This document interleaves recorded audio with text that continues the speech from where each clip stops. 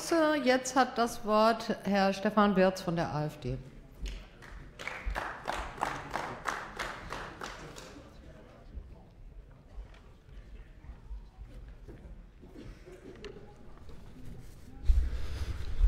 Sehr geehrte Frau Präsidentin, sehr geehrte Damen und Herren, wir wollen nicht den Titel dieses Antrags unterschlagen, den wir jetzt hier zur Verweisung erhalten. Hochwasser effektiv vorbeugen, Frühwarnsysteme ausbauen. Wir reden hier über den Binnenhochwasserschutz, wie wir gerade bei den Schilderungen aus dem Harzvorland äh, sicherlich gut entnehmen konnten. Im Antrag steht einiges sehr Konkretes. Im Gegensatz zum Digitalisierungsantrag aus dem vorigen äh, Beratungspunkt ist hier einiges sogar erschreckend konkret. Wir wollen per Antrag nun unter anderem die Mittel erhöhen, das haben wir eben gehört, wir müssen mehr Geld bereitlegen. Wir wollen die Zusammenarbeit mit den Kommunen stärken, ausbauen, verbessern, wie auch immer, was sicherlich sehr nötig ist, wenn man im Hochwasserschutz effektiv arbeiten will. Dann wird es ein bisschen seltsam, dann reden wir darüber, dass wir per Antrag bessere Wetterprognosen äh, äh auflegen wollen, wie immer das gehen mag. Da träumen wir, glaube ich, alle von, dass die Wetterprognosen besser werden in Zukunft. Und als äh, sehr wunderlich anwirkenden, anmutenden Punkt haben wir jetzt auch die Karte, die Herr Kollege Bosse eben erwähnt hat, die Karte nämlich von laufenden, geplanten oder im Bau befindlichen Hochwasserschutzmaßnahmen und ein dazugehöriger Masterplan mit den Finanzierungsabsichten bzw. mit den Finanzierungsmitteln, die nötig sind.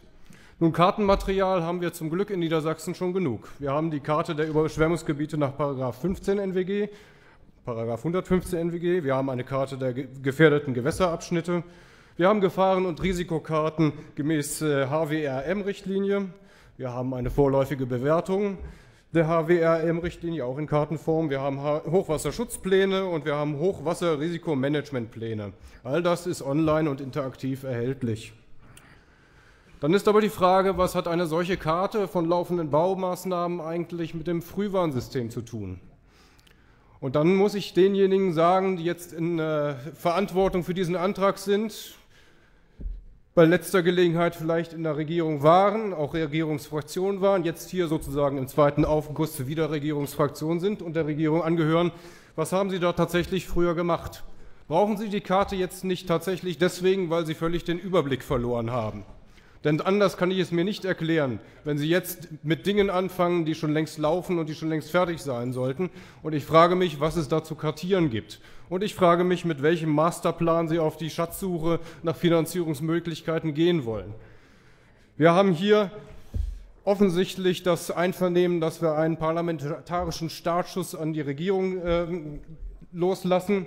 Da muss man allerdings fragen, wie viele Startschüsse brauchen Sie?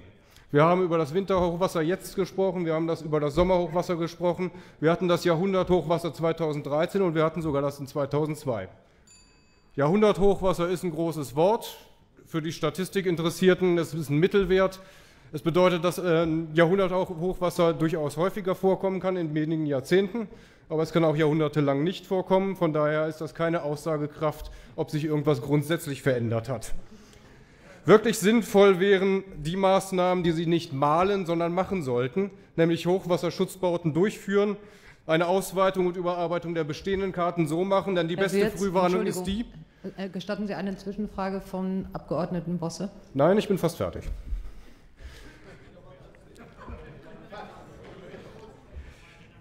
Sie sollten die Hochwasserkarten überarbeiten, die schon stehen. Die beste Frühwarnung ist immer noch die, die Leute gar nicht erst da, da, bauen zu lassen, wo Hochwasser drohen könnte. Und das ist offensichtlich sehr vielen und eigentlich viel zu vielen passiert. Ich frage mich, was Sie den Leuten sagen wollten, wenn Sie zwar in vier Tagen das Wetter voraussagen können, aber eine Hochwasserkarte erstellt haben, auf der man sehen kann, dass erst in zwei Jahren der Deich fertig ist. Und das ist im Hochwassergebiet. Die Überweisung ist ja offensichtlich konditioniert. Letzter Satz. Von daher können wir gut zustimmen. Aber es ist sicherlich auch eine Unterrichtung möglich, wie jetzt eigentlich der Sachstand beim Hochwasserschutz ist. Der Umweltminister ist neu und hat sicherlich auch noch ein paar weiße Flecken, die da aufzuhellen wären. Danke sehr. Vielen Dank, Herr Abgeordneter Wirz. Wir kommen jetzt zum Beitrag von Bündnis 90 Die Grünen, gesprochen von Frau Imke Bühl.